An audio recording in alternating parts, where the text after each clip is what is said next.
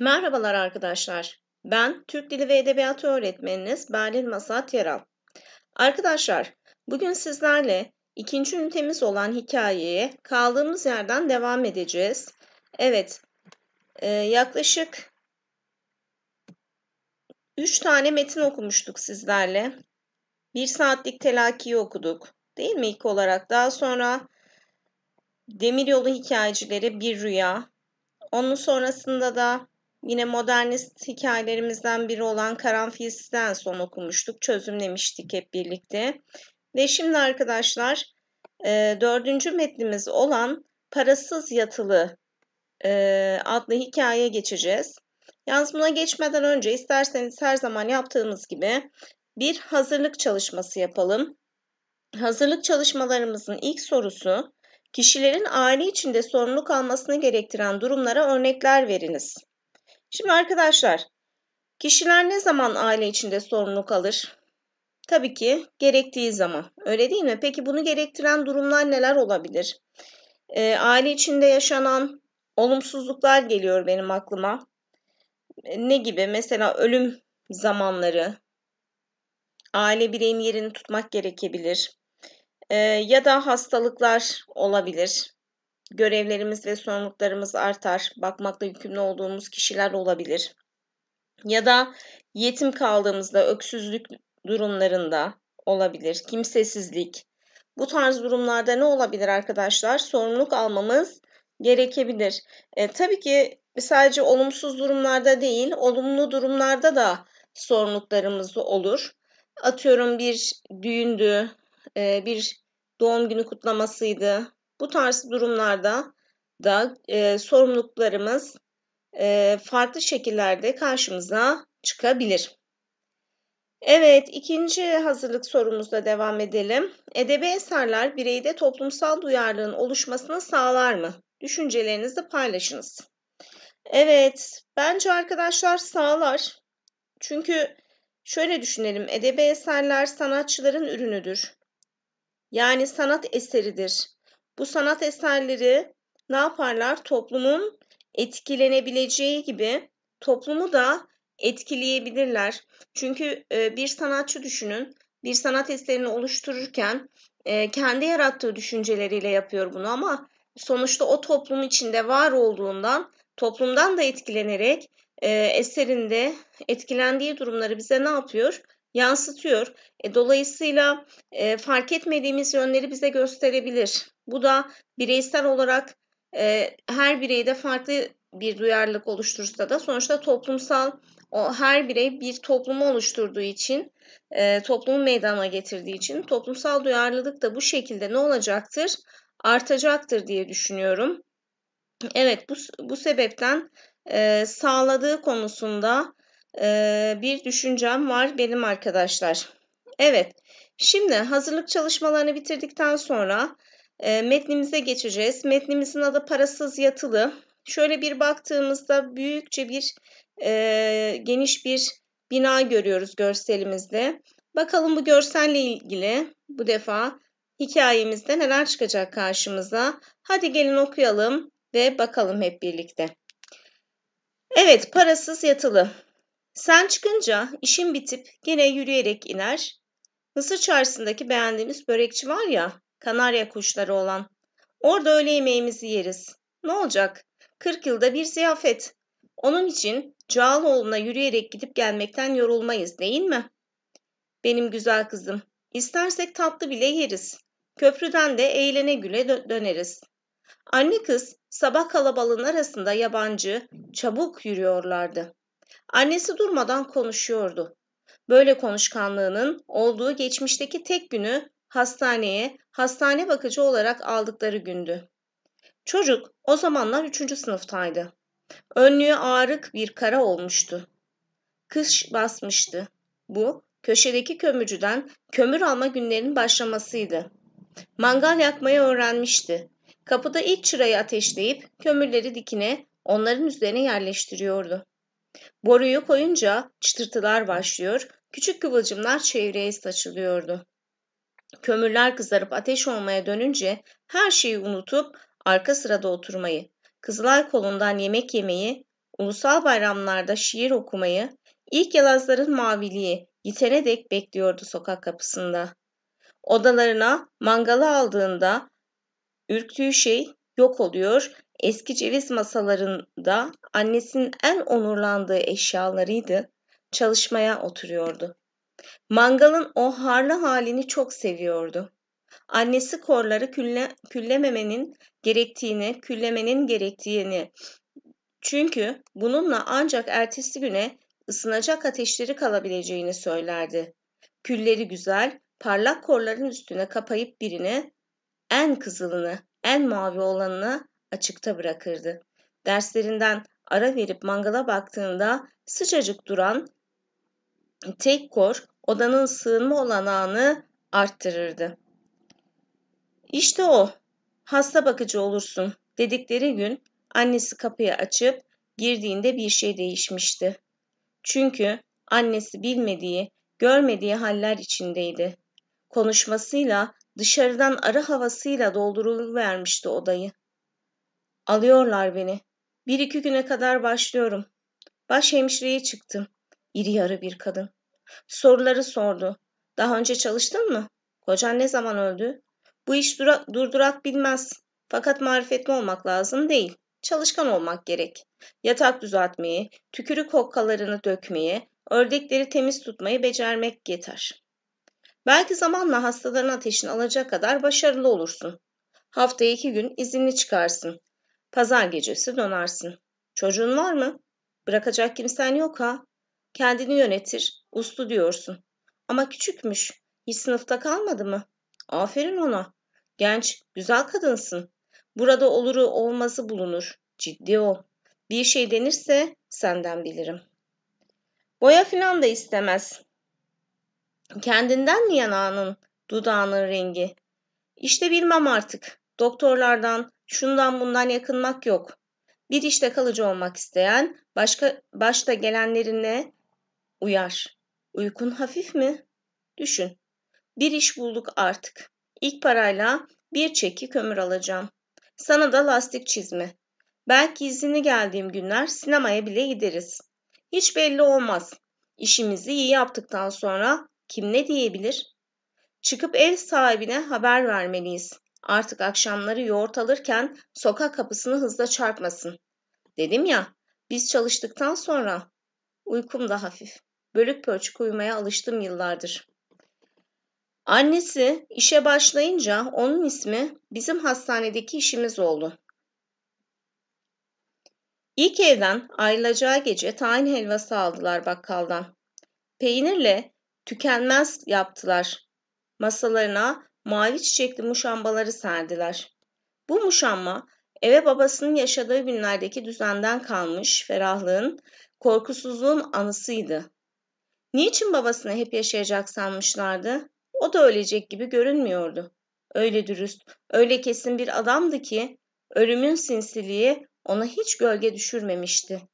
Evine her gece ekmek alıp gelen bir erkeğin yokluğu sessizlik olup yerleşmişti odalarına. Yaşlı da değildi, demişti annesi. Hiç sekiz yaşında bir çocuk babasız kalır mı?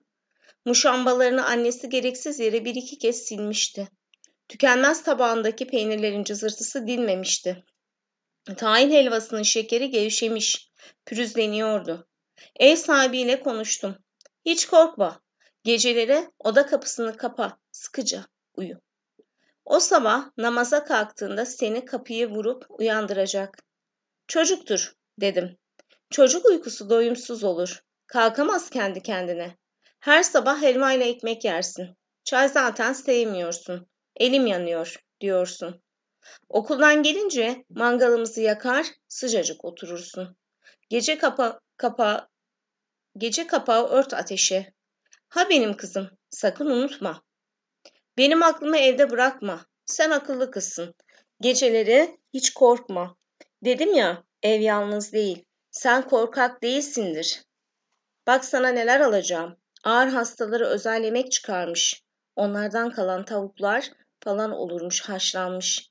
Sarı veririm paketi. Gizli değil ha. Sana dökülüyor. Zaten dökülüyormuş.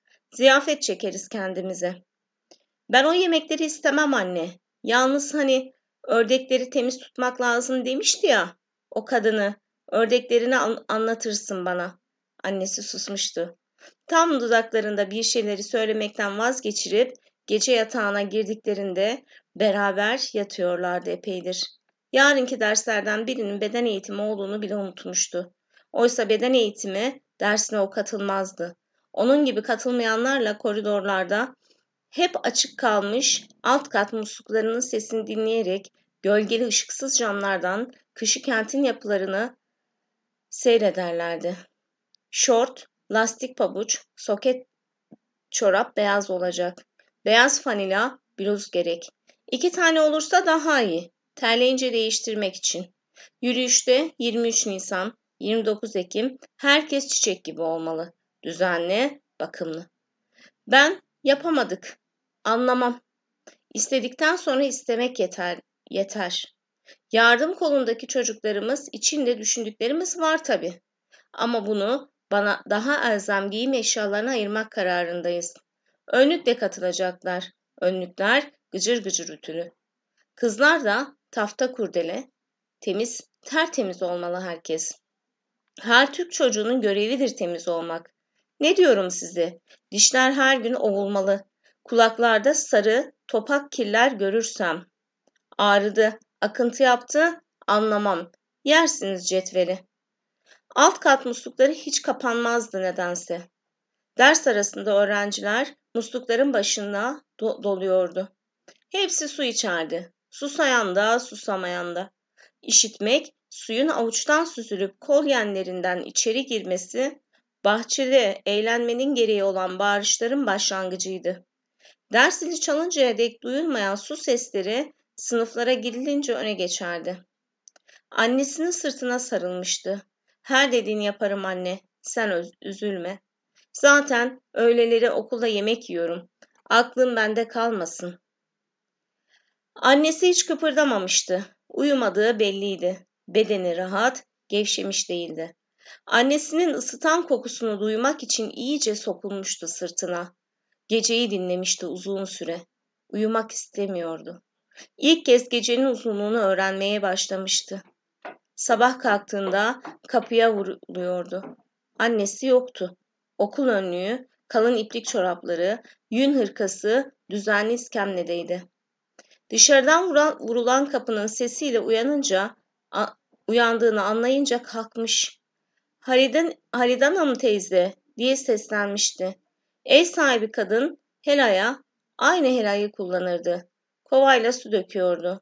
Giyinip masanın başına oturmuştu. Kış aydınlığı patiska perdelerden geçip köşeli, üşütücü yayılmıştı. Okul çantasını alıp odadan çıkarken hiçbir şey yememişti o sabah. Gerisin geri dönüp iskemleye oturmuştu. Sonra da sessiz ağlamaya başlamıştı. Sen peki ile bitirdin okulu. İlkokulu yoksul bir çocuğun peki ile bitirmesi kolay iş değil. Parasız yatılı okullarına alıyorlarmış sizleri. Öyle dediler bana. Muhtarlıkta fakirlik il muhabiri çıkarırken tanımadığım bir kadın ben de oğlumu zabit okuluna sokacağım ama kefil istediklerine bir malı rehin göstermek lazım olduğunu söylediler. Çaresizlendim hanımcığım dedi. Mal kim?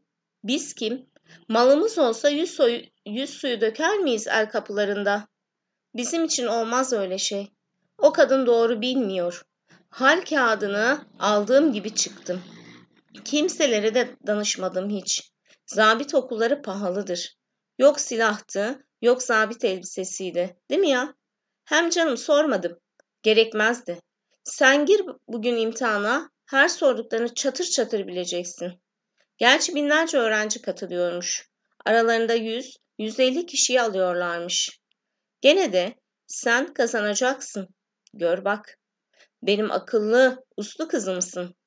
İsterlerse öyle mal mülk gibi bir şey, ben derim ki, ne demek? Benim kızım kalmaz sınıfta. Devlet masrafına ziyan vermez. Bunları okulun müdürüne böyle bir, anlat bir bir anlatırım. Hemen anlar. Hem canım o da bizim gibi bir insan. Hiç şımardığı olmamıştır kimseye. Bir gün bile çatı, çıtırtısı duyulmamıştır derim. Sanki o çocuk olmamıştır derim. Yokuştan yukarı çıkarken sırt hamallarının yüklendiği kağıt topların üstüne doğru yağmur çiselemeye başladı. Yumuşak bir haziran yağmuruydu. Kızla annesi gerekmeden karşıya geçmek için polisin arabaları durdurmasını bekliyorlardı. Yağmurun yağışı hızlanmıştı. İkisi de bu önemli gün için süslenmişlerdi. Anne boynuna ipek eşarp, çocuk saçını ıslatıp taşlı tokasıyla toplamıştı. Korkuyor musun? Hiç konuştuğun yok sabahtan beri. Hadi hadi. Salı pazarından bu taşlı tokanın eşini alacağım sana. Sonra bize tayin edecekler. Sen okulu bitirip öğretmen olunca ben de çalışmam hastanede. Beraber çıkar gideriz. Koltuklar alırız. Onlara çiçekli basma örtüler dikerim ben. Bir de kabul günümüz olur. Konukları ağırlamak için. Eğer unutmadımsa anasonlu galeta yaparım. Masraf kapısı olmaz. Belki bir de küçük halı alırız. Hasta pisliği dökmekten, koridorlarda koşturmaktan kurtulurum. Hele o lizol kokusu yok mu? İçini üşütüyor insanın. Bir de hep ölümü düşünmek. Şöyle bir dağın eteğinde olur. Gideceğimiz yer benim kızım. Herkes İstanbul'da kalalım de, dermiş. Hepsini sordum bilenlere. Öğrendim iyicene. Hükümet tabii seni alır. Biz İstanbul'u ne yapacağız? Bize bir ev, kışın kömürlüğümüzde odun, kömür gerek. Bir de mutfağımız olur değil mi? Eğer kefir falan derlerse demezler ya. O kadının uydurması. Oğluna güvenmemesi. Sormadım oradan buradan o işi. Sade sen öğretmen olunca ne olacak? Onları öğrendim. Biz nereye tayin çıkarsa oraya gideriz değil mi? Bu okulu kazanacakların hepsi de benim gibi yoksul çocukları mı? Çocuklarım anne. Onu da öğrendin mi? Öyle ya. Yoksul çocukları ki parasız yatılı için imtihan oluyorlar. Öyleyse ben burayı kazanırım, üzülme. Sınavı pek iyi ile bitiririm. Artık burada arkadaşlarım olur. Haftada iki gün sen hastaneden, ben okuldan çıkıp eve döneriz. Sana da konuk günlerinde bakkal bisküvisi alırım. Sınavların yapıldığı okul karşı yöne düşüyordu. Yeniden geçtiler caddeyi, ürke ürke. Arka sokaktan yürüdüler. Yüksek bir duvarın yanındaki kapıda durdular. Okulun öğrenci giriş kapısıydı bu. İçeriden uğultular geliyordu. Yağmur taş duvarların arasından çıkan aykırı yeşillikleri parlatmıştı. Bizden de erken gelenler olmuş. Geçmeç kalmış olmayalım. Hademe giyimli bir kadın onlara doğru yürüdü. Taşlı yoldan. Bezgin, alışık bakışlarıyla anne kızın üstünden dışarıda bir şey bakıyor, bir şeye bakıyordu. Anne saygılı sordu. Geciktik mi acaba? Çocukların çoğu gelmiş. Hademe kadın ilgisiz. Parasız yatılı imtihanların çocukları hep erken gelir. Hiç gecikmezler. Çocuk annesinden ayrıldı. Kıyısı duvarlı taş yolda yürümeye başladı. Hademe kadın görmedikleri bir iskemleyi, görmedikleri bir çatının oraya çekip oturmuş, yün örmeye başlamıştı. Çocuk dönemeçte arkasına baktı. Dış kapıda annesi yağmurun altında gülümseyerek duruyordu. Firuzan parasız yatılı. Evet arkadaşlar, çok güzel bir hikaye okuduk. Parasız yatılı. Ee, insanda değişik duygular uyandırıyor okurken. Ee, biraz yoksulluk, biraz e, çaresizlik kokuyordu bana göre. E, bu çaresizliğin getirdiği sıkıntılar, e, sorgulamalar, düşünceler, saygılar, sevgiler hepsi birbirine karışmıştı bence. Ee, çok güzel bir hikaye. Bu hikaye üzerine düşünmenizi istiyorum. Bir dahaki derste bunu çözümleyeceğiz sizlerle birlikte arkadaşlar. Ama e, diğer dersimizde kadar kelime ve kelime gruplarının şöyle bir anlamlarına da bakalım. Size de yardımcı olması adına. E, sonrasında bitirelim. Şimdi arkadaşlar metinde geçen bazı kelime ve kelime gruplarının anlamına bakarsak ağrık dediğimizde beyazlaşmış, rengi solmuş demek. E, bölük pörçük tam yararlı olmayacak biçimde parça parça. Elzem çok gerekli, hani e, vazgeçilmez. Çok elzem olan şeylerimiz vardır diye konuşuruz mesela gerekli demek için. Harlı ise arkadaşlar kuvvetli bir biçimde. Ateş için kullanırız genellikle bu kelimeyi. O ateşin alevini daha iyi hissettirmek adına. İlmu haber. Bunu belki hiç duymamışsınızdır. Ee, birinin yer, hal, medeni durumunu ve benzerini gösteren resmi belge, hal kağıdı. Yani sizin bileceğiniz bugünkü haliyle e, kimliklerimiz arkadaşlar. Kimlik kağıdı denirdi eskiden. İlmu haber daha da eskisi oluyor. Lizol arkadaşlar mikrop kırıcı olarak kullanılan sıvı. Günümüzün e, neydi? Mikrop kırıcı sıvı, sıvısına ne diyorduk arkadaşlar? Evet. Onu da hatırlamış olduk. Evet. Tükenmez. Tükenmez metinde peynirli bir tür çorba arkadaşlar. Ee, bu şekilde geçiyor. Yalaz ise arkadaşlar alev demek.